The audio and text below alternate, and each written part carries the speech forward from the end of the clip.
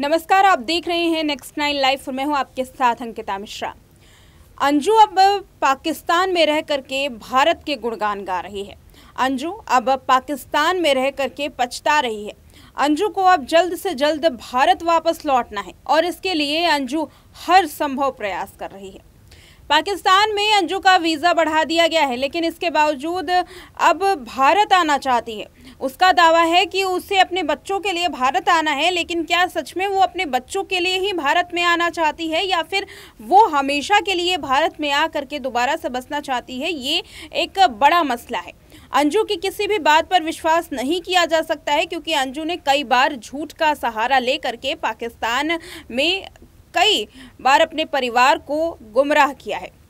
अब अंजू का एक लेटेस्ट वीडियो सामने आया है। पहले वीडियो में दिखाया जा रहा था कि अंजू ने 14 अगस्त को पाकिस्तान में आज़ादी का जश्न मनाया। अंजू केक काटती हुई नज़र आ रही थी और साथ ही उसके नसरुल्लाह भी था। अब एक ऐसी ही तस्वीर सामने आई है जो कि बताया जा रहा है कि 15 अगस्त की है, जब पाकिस्तान में अंजू ने भारत की आज़ादी का जश्न मनाया। पाकिस्तान में अंजू यहाँ तिरंगे के रंग में रंगी हुई है। देखिए ये पूरी रिपोर्ट। भारत के भिवाड़ी से पाकिस्तान गई अंजू का सोशल मीडिया पर आए दिन एक ना एक वीडियो वायरल होता है। ये वीडियो खूब सुर्खियों में आता है। अंजू अब पाकिस्तान से भारत आने की बात कर रही है। अंजू को अब पाकिस्तान में मन नहीं लगता। अंजू ने हाल में ही कहा था कि उससे भारत आने की चाहत है, क्योंकि भारत में उसके बच्चे हैं और वो अपने बच्चों के बिना नहीं रह सकती है।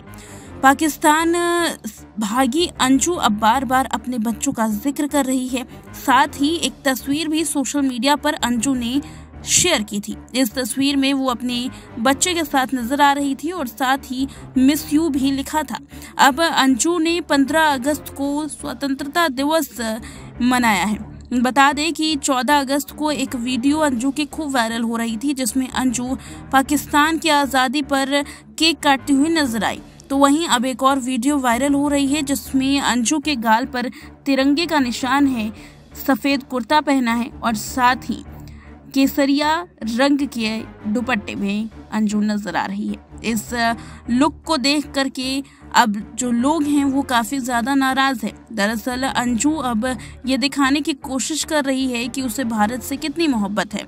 हाल में ही अंजू ने कहा था कि यह पाकिस्तान बहुत सुंदर है, उसे पसंद आया, लेकिन वो भारत की बेटी है। भारत में उसका जन्म हुआ, वो भारत जाएगी।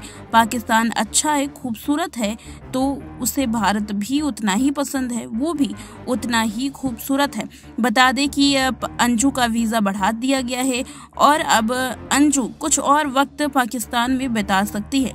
तो वहीं अब अंजू पर जमकर आरोप लगाए जा रहे हैं, और अंजू के पहले पति अरविंद का साफ़ कहना है कि अगर अंजू भारत आती है तो फिर वो यहाँ से ज़िंदा पाकिस्तान नहीं जा पाएगी। और रही बात बच्चों की तो बच्चे को अंजू पाकिस्तान में नहीं ले जाएगी। बता दें, यहाँ पर दोनों अपने आपसी जंग की वजह से सुर्खियों में है, जहाँ अरविंद अंजू पर काफ़ी खफा है और साथ ही बच्चों को ना ले जाने की बात कर रहा है तो वही बार बार अंजू केवल यही दावा कर रही है कि वो भारत में ज़रूर आएगी और साथ ही अपने बच्चों को लेकर के ही वहाँ से जाएगी। अब यहाँ पर देखना ये है कि अंजू, जो कि अब पाकिस्तान जाकर के पछता रही है, आखिर आगे आने वाले भविष्य में उसके साथ क्या कुछ होता है? लेकिन एक बात तो साफ़ है कि अंजू को अब पाकिस्तान में जाकर एक बात समझ आ चुकी है कि कौन सा देश उसके लिए बेहतर है। अब एक बात तो साफ़ है कि इस पूरे मामले को सामने आने के बाद अंजू काफ़ी पछता रही है। पाकिस्तान में रहने के बाद अब देखना यह है कि अंजू क्या सच में भारत में आ पाती है? क्या भारत में वीज़ा के ज़रिए उसकी एंट्री होती है?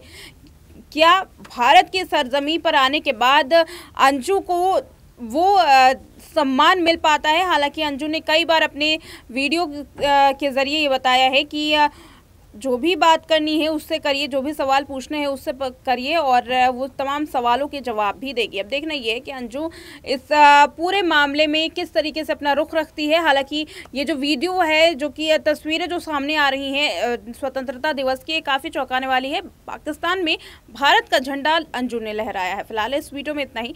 देखते रहे नेक्स्ट नाइन लाइव